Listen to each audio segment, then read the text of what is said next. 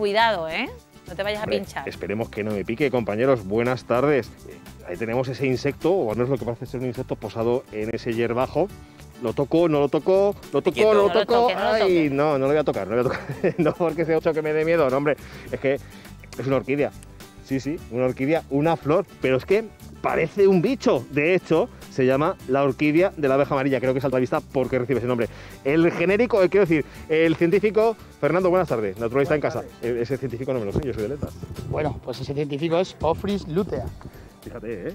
una maravilla de orquídea amarilla en su familia, la única que tenemos amarilla. Fíjate que es difícil encontrar orquídeas, generalmente a mí me, menos me parece, y mira, no solo encontramos esa que hemos visto antes, sino que tenemos más orquídeas de estas, de la abeja amarilla, pero es que fíjate, a pocos metros de aquí, nada, metro y medio, tenemos otra especie.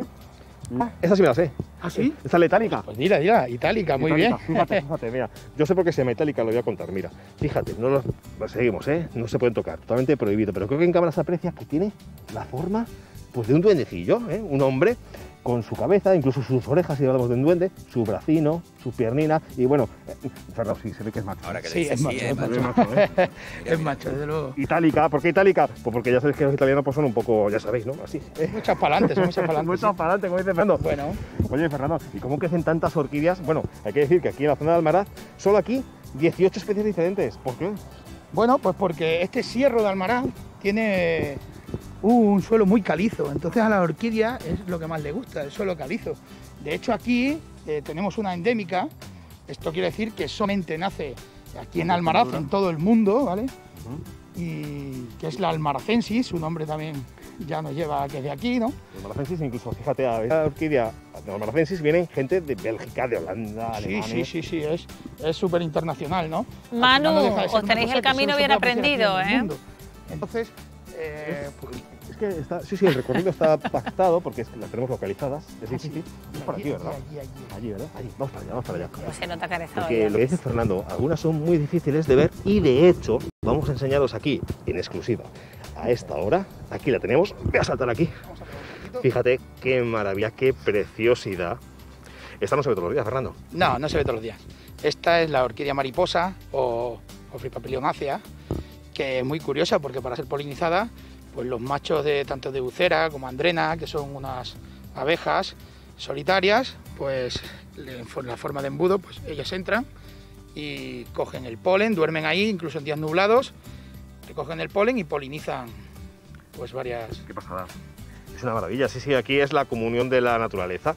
Las flores colaboran con los insectos y además, pues eso, y se puedan- todo. Simbiosis, esa es la palabra. Y permitimos que el campo Mira, mira. Esté tan bonito como está. Mira, mira, eso, mira, esta, esta. Mira, mira, mira. Quiero enseñaros esta. Esta también parece un... Es que sí, sí. Esta, dice Fernando, me encanta, es que me encanta. Esta parece, esta parece otro bicho, otro bicho. Pero es que además es súper gracioso porque a mí me recuerda a los chinitos de la suerte, Fernando. Sí, sí, sí, ¿Tú te claro. acuerdas de los ¿Qué ha chinitos de la suerte? Yo me acuerdo, me acuerdo, me acuerdo de ¿Y los vosotros, sitios. compañeros, os acordáis de los chinitos de la suerte?